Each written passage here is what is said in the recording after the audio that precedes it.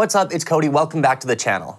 Now, over the past few months, I've noticed a slight decline in the amount of Spotify traffic going through my page, and I think this is largely due to the lack of commute and the lack of people using Spotify in general. There are a lot more people staying home right now, and while you may think that they'd be listening to more music and using Spotify more often, Spotify numbers have actually decreased and their monthly users have gone down over the past few months. And if you're anything like me, you're always trying to grow your following and you want to see growth in your numbers month after month. So while it may be more challenging than ever to try to grow your numbers, I thought I'd give you 10 tips on how to increase your Spotify streams and followers. So the first thing you can do is hit the like button down below to help with the YouTube algorithm. It seriously helps out me and my channel so much. It helps this video get seen by many more people. So if you find a video like this helpful, please, if you could just take one second and smash the little thumbs up button down below until it turns blue, that'd be so greatly appreciated. So thank you in advance. Okay, tip number one is to submit your music to playlist curators. Spotify is all about playlists. Their editors have created such a strong following behind their playlists and keep pushing them to more and more people. If you go on the app, you're always gonna see a new playlist popping up that they want you to listen to. So it's so important that if you're releasing a song,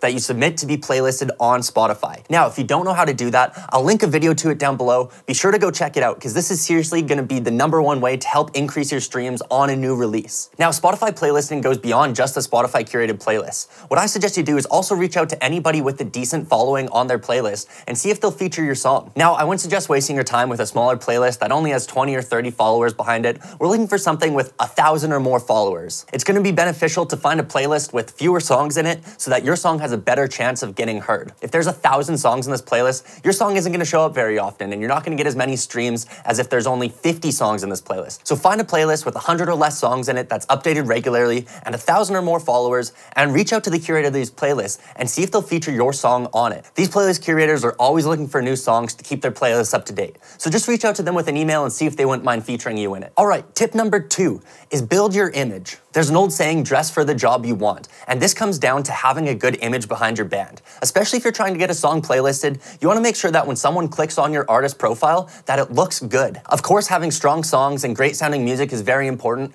but if you don't have the image to back it, nobody's gonna take you very seriously as a musician. We live in an age where it's very easy to come up with digital content and media, so make sure that your image looks good and that your profile is up to date. When someone clicks onto your artist page, you wanna make sure that you look as presentable and as professional as possible. If someone who likes your music clicks onto your artist page and it's really neat and organized and you have a nice set of images and a nice biography, you're gonna have a better chance of getting them to follow you. This also applies for Spotify playlist curators and any music industry professional like management or a record label. If you have a good looking page, you're gonna have a much better chance of a playlist picking up your song and any music industry professional to take you seriously. All right, tip number three, support other artists and their music. Musicians are family and we need to make sure that we stick together and help each other out. When your friends release new music, be sure to share it from all of your social media platforms and really help push their songs as best as you can. There is no competition when it comes to releasing music, and there is room for all of us to succeed. Reach out to other artists and musicians in your scene and see if you can do a music swap with them. Simply share each other's music from your own social media accounts and try to push your following to go listen to the other band. Not only is this going to help you create a strong working relationship with other musicians,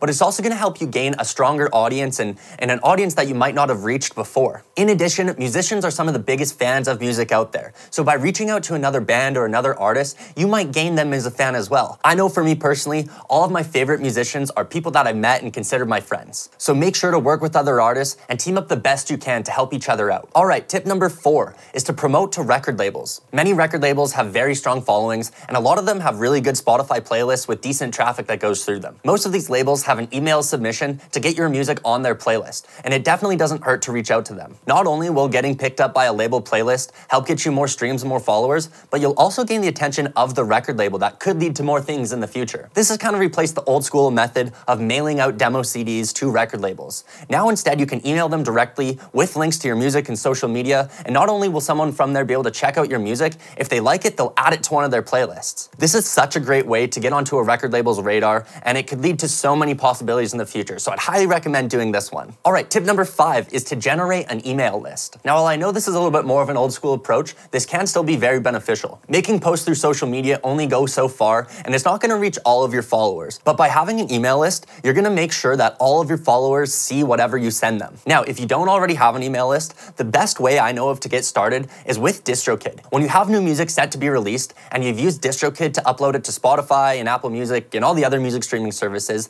they're gonna provide you with a pre-save link, and anybody who clicks on that link and pre-saves your music is gonna have to provide their email. So if you have yet to start an email list, I'd highly recommend doing it this way. I'll link a video down below on how to create the pre-save link and exactly how that all works, so be sure to check that one out. All right, tip number six, make sure that you share your Spotify links everywhere. Social media is king. If you want to maintain a following, you need to make sure that you're active on social media and posting. This is going to be the greatest way to make sure that you maintain and gain new followers. And one of the greatest things you can do with social media is share your Spotify links. With my own band, I do this weekly. Every Monday morning, I share a unique Spotify link, whether it's just to one of our songs or to an album or to our artist page as a whole. So be sure to remind your following every once in a while to go check out your Spotify page and ask them to go listen. And this can extend far beyond your own personal personal social media account. What I've done in the past is join various Facebook groups of the genre that my band plays in, and people are often posting looking for new music or new playlists. And all you have to do is just go through the comments and drop in your band right there. You'd be surprised just how effective dropping a link to your Spotify page in the comments can be. Now with this, be sure that you're not just doing copy paste, copy paste. Try to be a little bit personal with it. Explain why someone might like your music and, and try to gain a one-on-one connection before just dropping the link. Now, if you want to try this out for yourself, go ahead and drop your Spotify Spotify link down in the comments below and let me know why I should listen to it. Try to use this as an exercise to create a short little blurb as to why someone might want to listen to your music. I'll be sure to click on it and maybe others will as well. So go ahead and drop a comment down below. All right, tip number seven. Be consistent. We live in an age in the music industry where singles and playlisting is the number one priority. While it's a lot of fun to work on a full length record and release that as a whole, singles really do dominate the market and are the best way to get your music heard. Releasing singles consistently is not only going to help you optimize your chances of getting a song featured in a Spotify playlist, but it's also going to help to maintain and grow your listeners over time. There's nothing worse than putting out all of your music at once and seeing your page blow up for a month only for it to drop back down to where it was a couple weeks later. By releasing consistently, not only only are we going to maintain our monthly listeners, but we're also going to give ourselves an opportunity to improve every release as we go. We always want to be improving and we want to make sure that there isn't a lack of quality. Sometimes by going with an EP or an album, we're sacrificing quality for quantity, and that's not always the best option. We want to get better with every release, so make sure you're doing all that you can to improve, even just by the slightest amount every time. All right, tip number eight is have good cover art. Now, this goes back to image and dressing for the job that you want. Whether you're trying to get your song playlisted on Spotify or trying to have someone new listen to your music, the first thing that they're gonna see is your cover art. And so you need to make sure that this looks very strong. Now, don't get me wrong, developing good looking cover art is very difficult and it's gonna take a lot of time and practice in order to get it right. But us as humans are such visual driven people that even when it comes to something like music, the visual is still very, very important. Is gonna be the first thing that we see. So make sure that you don't skip over your cover art. Put in the appropriate amount of time and effort to really come up with something that you're gonna be proud of for the long term. Which leads me into tip number nine, focus on the long term, not the short term. Nothing comes quick in life, and the chance that you're gonna have a hit and blow up overnight is very, very rare. Focus on maintaining consistent releases and improving your craft over time. Your music is only going to get better, and with more releases means more chances to please the Spotify algorithm and get your song playlisted. Seriously, having Spotify push your song is going to help you more than you can even imagine. I know from my own streams, most of our music either comes from listeners' playlists or Spotify algorithmic playlists. So make sure that you're doing the best that you can to please the Spotify algorithms and working on your release strategy as you go. Play the long game and try to figure out what works best for you and go from there. And tip number 10 is to just be patient.